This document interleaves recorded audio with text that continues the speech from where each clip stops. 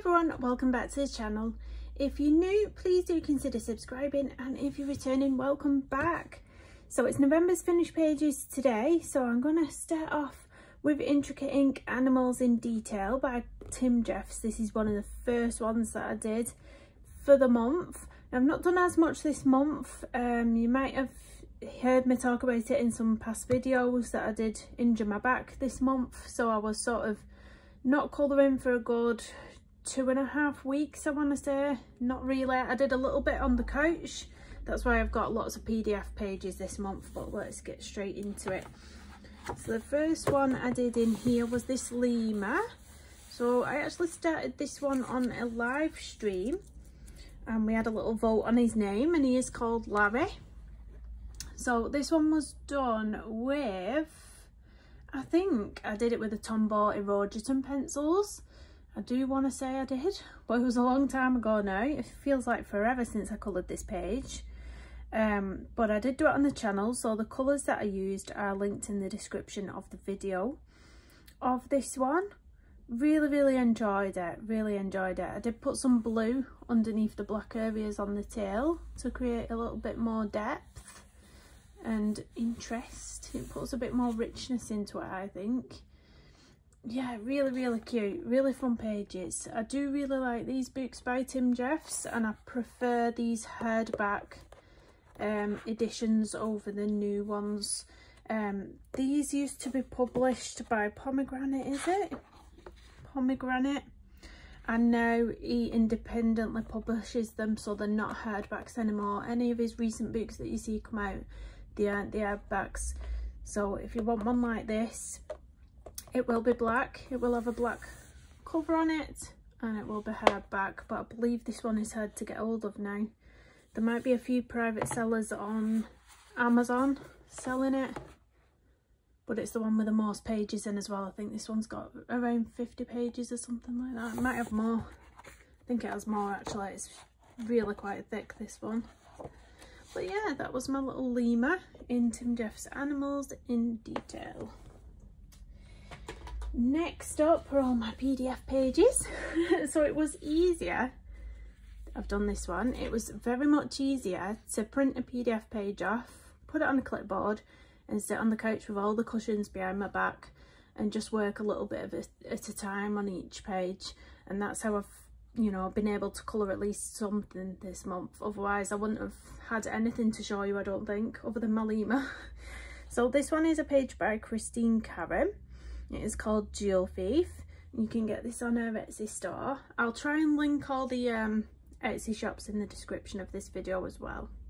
So the background I did on a um, sort of easy background idea video and it was just alcohol markers so it was just literally drawing circles with alcohol markers now i did do another one previously before this with the same background but different colors and i prefer it over this one.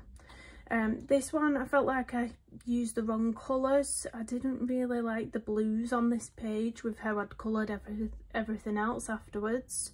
Um, so just very recently i did add the black washi tape just because we had a few white areas down the outsides that I wanted to cover up and I felt like it brought some black from our clothing into the background which makes the blue in the background not look quite as odd it sort of brings it together a little bit more um but yeah I did originally go in with white gel pen for all these little sparkles but it was obviously taking on the colour of the alcohol marker underneath so it kept turning blue. So I have even tried to go in with some white acrylic paint and it's even doing the same thing with that. So I don't know, it's a losing battle I think. it's a losing battle. So yeah, but I've, I do really like the way I've coloured the lady. I had a little issue with the clothing because I started with the Derwent Coloursoft pencils on the clothing now those pencils I normally really enjoy colouring with. Um, they're a pencil I really enjoy. But for some reason, I don't know whether it was just on this paper or whether they're like that in general and I haven't noticed before, but they wouldn't do any more than two layers. I sort of put a, a soft, was it a soft peach? Or a light peach and then a peach. And then I was trying to go over the top with the greys put to put the lacy you know if sheer effect over the top. And it was just sliding everywhere. The pencil wasn't going down. It wouldn't do a third layer. It absolutely would not do a third layer. So then I ended up switching my pencils to the Faber-Castell Polychromos on the face. I was over it at that point but I did do a time lapse of me colouring all of this page as well. So I will link that in the description as well if I remember. Hopefully I'll remember. So that's that one by Christine Cameron. Next up so this is the other page I was talking about where the background works a bit better on this page I think. I really like the overall look of this one. And it really does look very Christmassy and very pretty. So this one is by Derya Draws and I don't know if she's called Ginger. She sort of had two names. I think it was called Ginger the PDF and then in the description it said cute elf girl. So I'm not sure if it is actually called Ginger or Cute Elf Girl this page, or maybe both. Let me get comfy on my chair. yeah, so this was based with alcohol markers. So I always use my Winsor & Newton Pro markers. Um, so I based everything with that, the hat, the skin, the hair, everything. And then I went over the top with pencil detailing. And then just to add a little bit more interest on the feather, I did white gel pen so I created little flowers up there on the feather and then I put a few little white white freckles on her face but I really like that one it might be one of my favourites this month just because it's you know it's nearly Christmas and it's fun and I really enjoyed doing it so the background with the alcohol markers was the first time I tried it on this page I normally do something like that with soft pastels um, but I thought why not give it a go with alcohol markers. I was sat on the couch again with the cushions behind me. I thought I can't really get my pan pastels out because I'm going to make a mess on my couch. so I thought what can I grab that's easy? Alcohol markers and I just decided to do this. So I think it works really well on this page. Really well. So that's Derya Draws. Again, I'll try and link that in the description. Her Etsy shop. Oh, I'm out of breath. Can you tell I'm not used to all this talking? Should have brought a drink up. So the next one is another one by Derya Draws. So this one, is this Dragon Girl? No, this is Viking Girl. Viking Girl, yeah. So this one I did another tutorial on. The tutorial was a textured watercolour background. So if you're interested in that, that is on the channel as well so it was just to create texture with watercolour so I basically just put one block colour of watercolour all in the background and then I got a slightly darker shade and I literally just dotted it on and moved it around a little bit. And that was it. It was really really easy. But it looks really effective. I think it looks really gorgeous.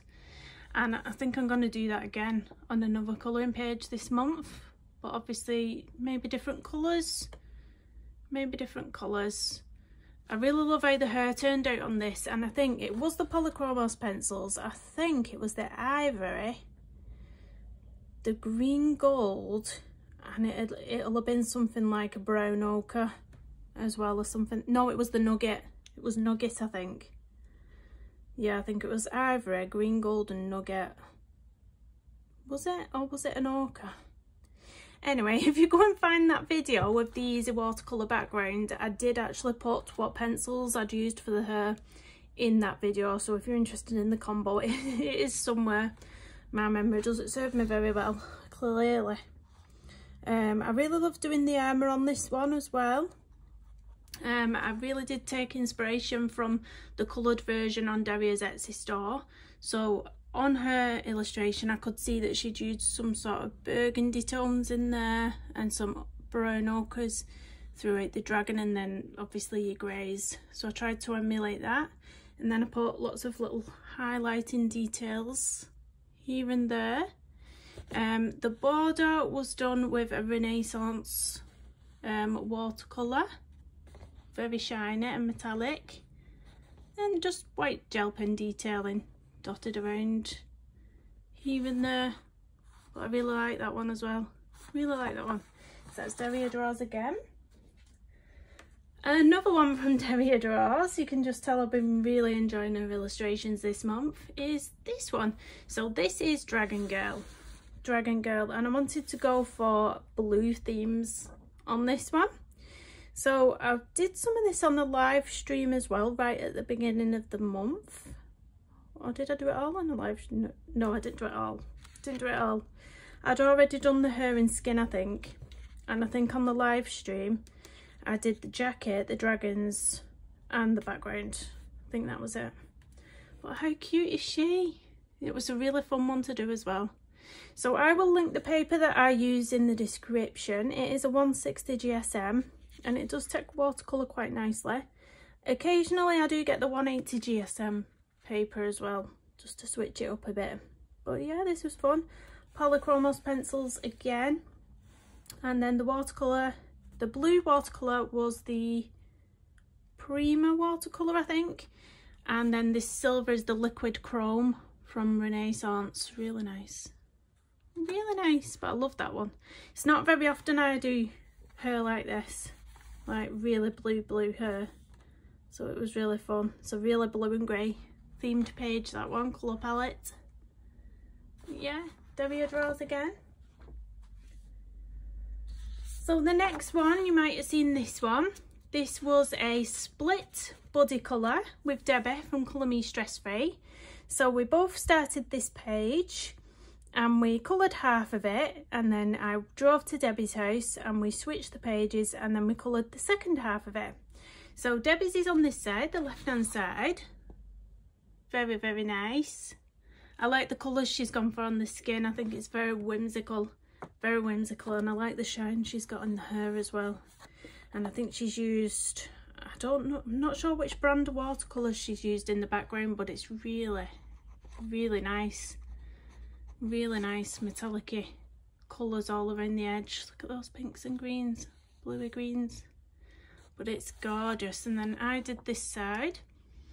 So I based it with alcohol markers. Went in with a bit of pencil detailing. This was the Renaissance watercolour. Um, I splashed some of it on the background, put some of it in the flower and a bit of white gel, gel pen detailing. But I will pop the other version up here now. So on this one, I've coloured the left side of the page. So this side, on this one I've coloured and Debbie coloured this side beautiful and I really had so much fun doing that. It was a bit more time, time and effort to, you know, sort of get both sides filmed and, and um, driving up to Debbie's and swapping the pages. It was a bit more effort, but I think it was worth it. I think it was worth it. I think everyone enjoyed watching that one and I really enjoyed doing it as well. So there we go. That's Mystic Art Mirrors because I forgot to say. That is Mystic Art Mirrors. You can probably find this on a Etsy shop. So next up I did a page in Mouse Guards. This was a very last minute page for me. I noticed I coloured a lot of PDFs and not much in my colouring books. So I thought, which book can I pick up that's going to be quick, easy and fun?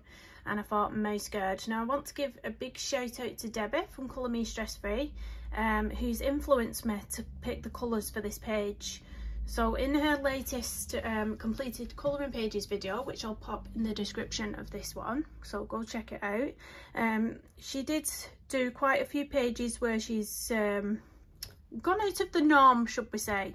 So say you think of a mouse and you think, oh, greys or browns, those sort of tones. But what about if you did a green mouse? What if, about if you did a blue mouse or a pink mouse? And she was trying to, trying to, you know, say that things don't have to be coloured how they are naturally. So I took inspiration from that and I did this page. So thank you, Debbie, for the idea, if I can find it. And I did this one. So you can see I've got pink mice because why not? Why not? So I originally based all of it with the Derwent Inktense pencils. Now, I love those pencils in this book. I absolutely love them. And then I went in with pencil detailing over the top. The only area where I didn't need to do pencil detailing was the flower, uh, not the flowers, the butterflies. because um, I originally went in with two shades of Derwent Inktense and mixed them together on the page and they turned out really really nice. Um, the rest of the shading was done with my pencils over the top and then we got the liquid chrome again from Renaissance and we splatted it on the background. So we've got all these stars and I went a bit crazy with that. Um, but yeah I love this page. I really do love it. So thank you to Debbie for the idea for this one because I don't think this would have turned out quite as pretty if I'd have done it in your usual grey tones. Because if you look at some of the other pages I've done um, I do tend to go for a grey mouse in these books so that's the usual theme that I go for. And you'll be able to see in my other pages as well that again a grey mouse again another grey mouse. And there is one at the front where I've done him grey again. So it's been really really nice to just say you know what? Just go out, go out your comfort zone. Take it pink purple blue green.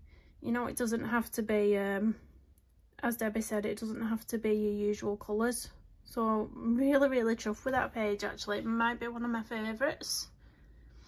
And that's it guys. That's it. That's all I've got done this month with my dodgy back. Hopefully I can get a few more done this month but I'm not holding my breath because it's Christmas. Five kids lots of celebrating and organising and so we'll see what the month brings. We'll see what the month brings. So thank you so much to what to everybody for watching for commenting for subscribing. Please do drop me a comment down below. Let me know which is your favorite page. And I'll see you in the next one. Bye everyone.